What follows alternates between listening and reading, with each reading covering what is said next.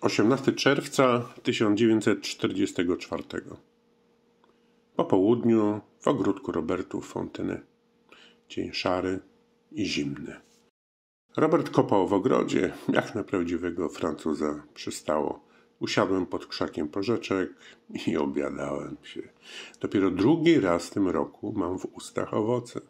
Rzuciłem się na soczyste gronka z żarłocznością szarańczy. I jadłem, i jadłem, i jadłem. I tylko od czasu do czasu, dla osłodzenia ściągniętych kwasem ust, przerzucałem się na słodki agrest. Potem położyłem się na trawie i patrzyłem w niebo z popielatej tafty. Wiatr szarpał czarnymi liśćmi kasztanów. Amerykanie doszli do Barneville i odcięli czubek Cotentę razem z Sherburgiem. Rosjanie idą ciągle naprzód. Dziś mijają cztery lata, jak Petę poprosił o zawieszenie broni. Mam w oczach ten dzień. 20 czerwca 1944. Rano na Pont d'Arcole w drodze do prefektury policji. Na moście zatrzymują się trzy ciężarówki wypełnione rannymi Niemcami.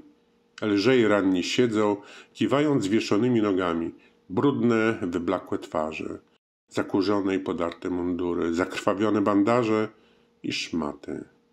W głębi siedzą inni zamkniętymi oczami. W tej kupie szaro-zielonego brudu wszystko co białe i purpurowe odcina się ostro. W pewnej odległości wokół samochodów paryski tłumek. Patrzą jedni na drugich i milczą. Samochody ruszyły. To już armia w całkowitym negliżu.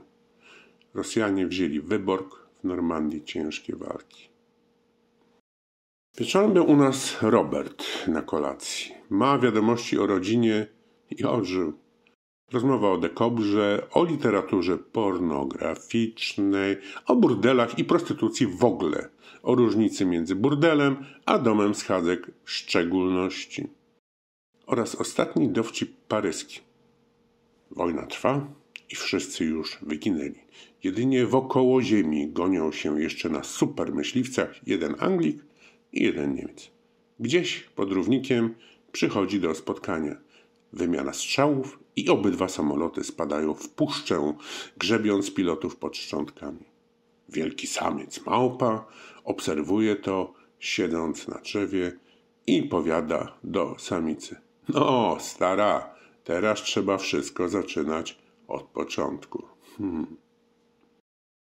Potem przyszedł jeszcze i ten Hiszpan. Wrócił od Runki spod Fontainebleau i przywiózł nam pudełko wspaniałych czereśni. Rzuciłem się na nie.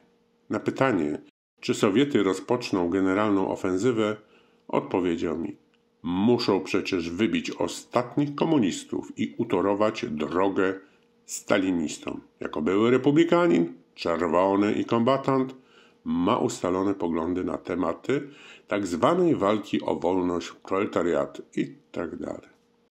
Już więcej nie będę nadstawiał karku na to, żeby ci, co krzyczą o wolności, prawach ludu i tyranii, zasiadali na wygodnych fotelach i zgniatali wolność i prawa ludu, będąc sami gorszymi tyranami niż ci, przeciwko którym rozpoczęto walkę.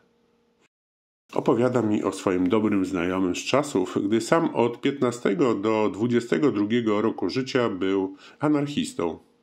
Juan Garcia Oliver był jednym z asów hiszpańskiego anarchizmu. Życie jego było podzielone pomiędzy akcję wywrotowo-zamachową i siedzenie w więzieniu. Przeszedł on niemal przez sądy całej Hiszpanii. Po przewrocie republikańskim został ministrem sprawiedliwości w gabinecie Caballero – 1937 roku. I poszedł go odwiedzić w towarzystwie adwokata, który bronił obecnego ministra w szeregu procesów o zamachu. Weszli do wspaniałego biura. U nas zwykły woźny ma wspaniałe biuro, cóż dopiero minister, dodaje i On w mundurze oficera republikańskiego zasalutował. Adwokat podszedł do swojego dawnego klienta i po uchwale chwycił go za rękę. Kwetal Juan, jakże rad jestem, czy coś w tym rodzaju. Juan Garcia Oliver spojrzał zimno, strącił rękę adwokata i wycedził. Nie Juan, lecz minister sprawiedliwości. Adwokat wziął to za żart. Pan minister nacisnął dzwonek. Proszę tych panów odprowadzić do wyjścia. Był zresztą dobrym ministrem sprawiedliwości, dodaje i. Znał prawie wszystkich komisarzy policji, wszystkie więzienia. Miał czas poznać, gdy z kajdankami na rękach przewożono go z miejsca na miejsce. Wyciąga z tego dalsze wnioski. Kto raz zasiadł w fotelu, ten niełatwo z niego wstaje.